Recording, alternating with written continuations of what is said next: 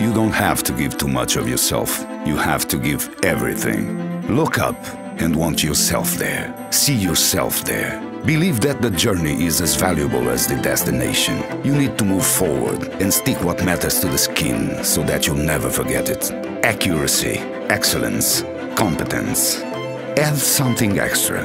Passion, determination, willpower. You must choose well. Decide, think, and decide again. Feel how difficult it is so that you won't be afraid and can see the horizons above us.